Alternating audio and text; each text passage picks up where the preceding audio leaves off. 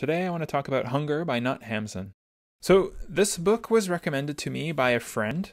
Uh, he said it was a good, interesting read. Uh, it was kind of hard to find, actually, though. Uh, it wasn't available at the bookstore. They had to order it. Although I think it is very old, and so that might be part of the reason. You probably can get it for free, actually, online if you wanted to read a digital copy. So, the story follows this uh, guy. Uh, he's an author of sorts. Like in the beginning of the book, he's living in this attic, but he doesn't have really anything left. Maybe there's like a table and a chair and maybe a bed, but that's about it.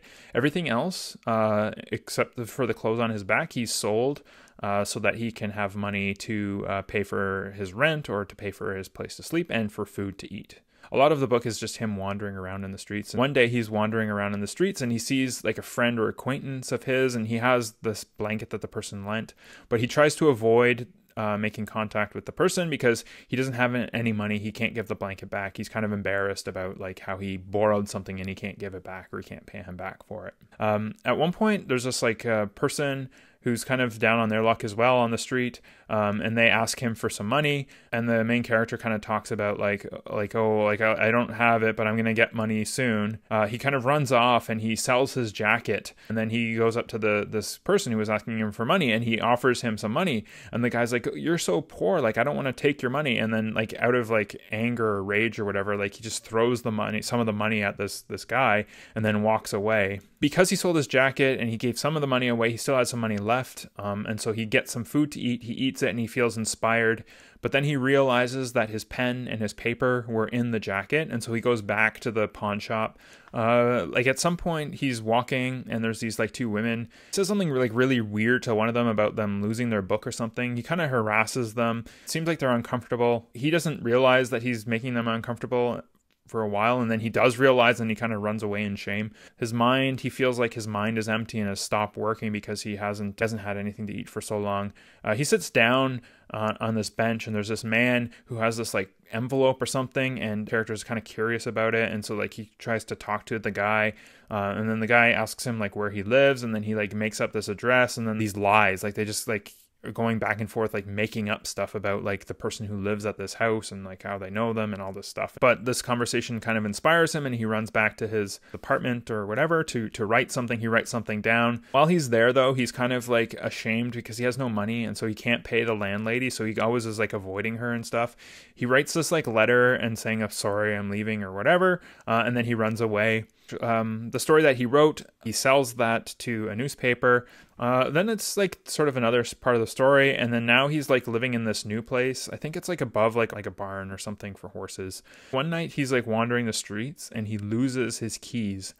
Uh, and he goes back to his home and the door is locked and so he can't get in he asks a police officer if they have like the master key or something to be able to open the doors the police officer says no and kind of recommends he goes to this homeless shelter and so he goes to the homeless shelter, and when he gets there, they ask him who he is, and he says he's like a journalist, and he just got locked out of his home. Uh, in the morning, when it's time to go, like they're giving like a voucher for breakfast, but like he is so proud and he doesn't want to admit that he's actually hungry, so he pretends that he has a job, and then he doesn't get this voucher for the breakfast, so like he's hungry and he's like desperate, but he's not willing to admit it. Eventually, he like gets so uh, desperate that he cuts the buttons off of his um, his shirt or his vest or whatever, and he tries to sell them. Man at the pawn shop doesn't want the buttons buttons because like they're just buttons. Uh, he kind of runs into the the lady, uh, the girl who he harassed earlier on, and they kind of talk a little bit, and he ends up kind of going on a date with her. She kind of like thinks he's funny because she thinks that he was like joking around, like he was drunk, and he was just teasing her because he was drunk. But she kind of actually realizes that like he's like kind of losing his mind and that he's like homeless and he's starving. And I think they like maybe they like kiss or something and she rubs his head and all his like hair comes out and stuff because he's so malnourished. Uh, and so like she realizes his like true state and so she asks him to leave. Like after this date and stuff, he meets someone that he knew from the past, and I think they feel sorry for him, and so they give him some money, and so he uses that money to like get a room at this this house and some food, uh, and so he gives them the money and he stays in this room. Uh, but eventually, like he he doesn't have any money left, and he gets asked for the money, but he doesn't have it. uh, but like the people in the house like kind of has some sympathy for him, so they let him stay uh, in their family room. Landlady seems pretty resentful of him because he doesn't do anything, like he doesn't have any money, he doesn't pay, and he just like sleeps there and he eats their food. He feels like guilty and bad about it, and so like it just isn't a healthy situation or happy situation for anyone. So he leaves. Um, like while he's outside, um, like a post person comes up to him and gives him an envelope, and he asks like who is it from, and the postman says, "I'm not really allowed to tell you who it's from, but I can tell you it's from a woman." Uh, he opens it up and there's money in it, and he like kind of squishes it up because I think he's angry about getting the money. And then he like goes to the landlady and he just gives her all this money that he had uh, like the money that he got, and he doesn't even use it for himself to eat or something, even though he's like desperate and hungry and starving and everything. And then at the end, he goes to like the harbor or something, and he sees this boat, and they're like loading up coal onto it. And so he like approaches the boat, and he asks the captain, he's like, "Are you looking for a person, uh, a worker, whatever?" And so then he just like takes his job, and he's gonna like be loading coal on this boat. And so like he's basically been starving all this time, and then like he just finally like takes a job where he can make some money. So that is hunger. Um, so like some interesting ideas from this story is like it's kind of like following like this guy who wants to be a writer or who is a writer and he wants to like make money off of his like creativity and, and writing and stuff, but like just by by not having the resources to live, by not being healthy, like he's kind of like compromising or sacrificing his like creative ability, and so like he can't like he can't write even though that's what he wants to do.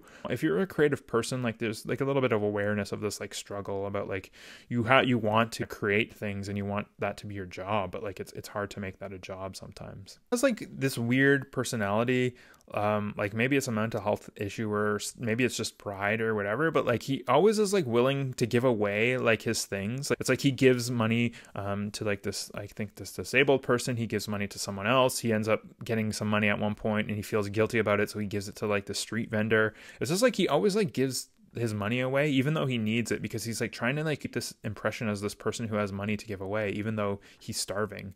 Um and like it's it's kind of like i don't know if it's like a conflict in him um but like it's it's it's kind of like a weird kind of frustrating thing from the story because like he'd rather have this like pride rather than eat even though like his entire life revolves around the fact that he's hungry. So it's like i don't know it's like ridiculous. A lot of times too throughout the story he like blames god. He like says it's god's fault that he's starving that he's hungry that he's not having success like that he's just like in this state.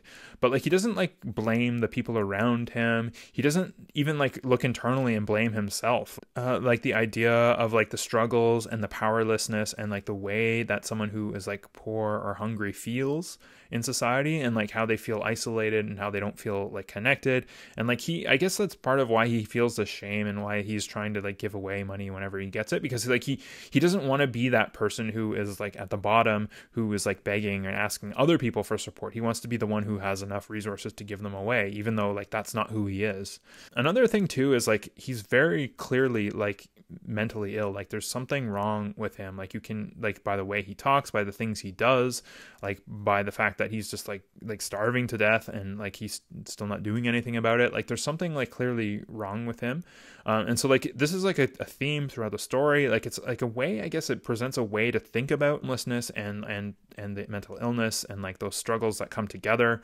And so like i think that's it's good because like you know probably everyone knows that but this book is pretty good at like making like showing that um, through the following of this character. When he met that woman and he had like the kind of date with her, like he felt like so like invigorated and alive, and like that was like his only human connection for like most of the book. Like most of the time, it's like the cops are just like telling him to go away, um, like stop hanging out or whatever. But like he's not really doing much otherwise. Like he's not having many interactions with people in real life. Those are my thoughts on Hunger by Knut Hamsun. I wouldn't say that this was really like a good book. Like it's an interesting book, but I found it pretty difficult to get through. Um, like I felt like at some point, like maybe when I was halfway through, I was like, I just have to finish reading this. It's not like I enjoy reading it; I just have to finish reading it. So it was like a hard book to get through. But I do think it has some interesting perspectives. I don't know that I'd recommend it though. Let me know what you think in the comments below. Click that like button if you like this, and uh, click that subscribe button if you're curious about seeing more videos in the future about book reviews. Uh, thanks for watching, and we'll talk next time. Goodbye.